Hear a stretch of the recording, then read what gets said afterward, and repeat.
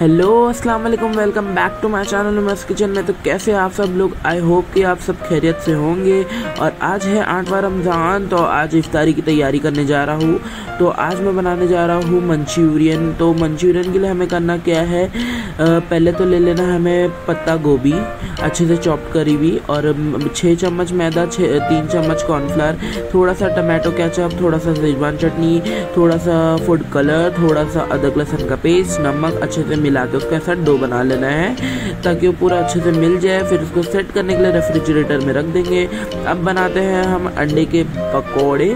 तो अंडे के पकौड़े के लिए करना क्या है? चार अंडे उबाल लेना है, जैसे आपके आपके ऊपर है, फैमिली मेंबर के ऊपर है, कितना क्या खाते हैं तो उस हिसाब से ले लेना है। तो जैसे कि मैं यहाँ पर चार अंडे उबाल के हाफ़ हाफ़ पीसों में कर रहा हूँ उसको, और यहाँ पर हम ले रहे हैं चने का आटा जैसे बेसन, हल्दी, अदरक, लहसुन, नमक स्वाद अनुसार और लाल मिर्ची का पाउडर और उसको पानी डाल के अच्छे से बैटर कंसिस्टेंसी अच्छी होनी चाहिए इसकी। अच्छे से फेंट लेना है ताकि उसमें कोई लम्ब ना हो और ये देखिए इस तरीके का होना चाहिए। तो अब हम बनाने वाले हैं चीज़ बॉल तो चीज़ बॉल के लिए करना क्या है? उबले हुए आलू ले लेना है। जैसे कि मैंने लिया हूँ यहाँ पर चार से पाँच आलू।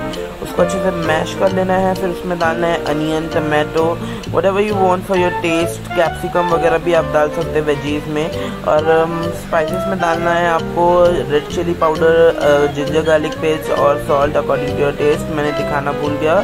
और काली मिर्च का पाउडर भी डाल देना है थोड़ा सा और मैं डाला हूँ थोड़ा सा कोरिएंडर इसको हम साइड में रख देंगे। अभी हमारा चीज़ भी क्यूब में कट कर लेना है।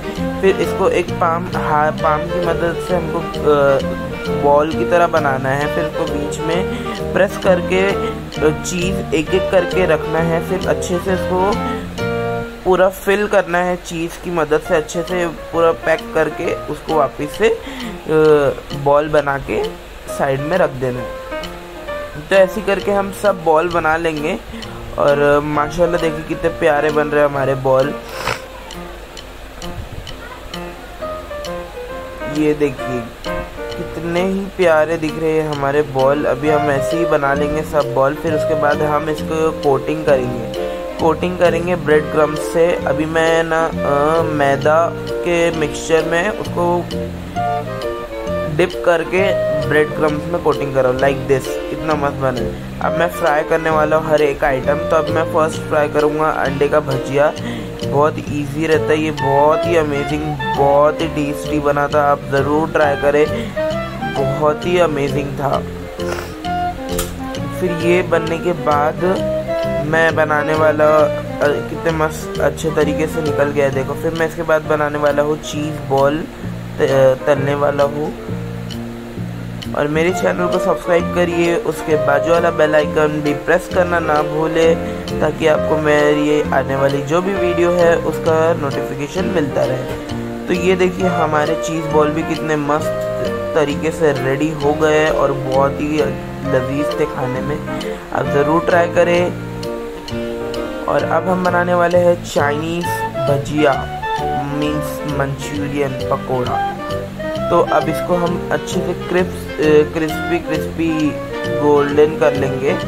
गोल्डन मतलब ये गोल्डन तो नहीं होगा, लेकिन रेड वो ऑरेंज हो जाएगा, एकदम अच्छे से डार्क ऑरेंज तो ये देखिए, हमारे ये भी तैयार हो गया है और बहुत ही अमेजिंग दिख रहा है और खाने में भी बहुत अच्छा था। इसके साथ मैंने दो चटनियाँ और बनाई थी। माशाल्लाह, देखिए कितनी खूबसूरत और बेहतरीन दिख रही है हमारी अफ्तारी। माशाल्लाह माशाल्लाह। और ये है one one and only my favourite falooda और ये मम्मी ने बनाए हैं। और चले आइए टेस्टिंग करते हैं सब चीज़ों की। तो ये मैं पहले टेस्टिंग करने जा रहा हूँ चीज़ पकौड़े की चीज़ बॉल की। तो ये बहुत अमेजिंग था। ये आप मेरी आ, लाइट रेड वाली चटनी से खाना और ये और ये है अंडे का और सेजवान चटनी से खाना और ये है चाइनीज़ पकौड़ा। तो इसको भी सेजवान चटनी से खाना। तो दुआओं में याद स्टे किराक तो अलविदा लेता हुआ आपसे। तो अल्लाह हाफिज़। मिलेंगे नेक्स्ट वीडियो में।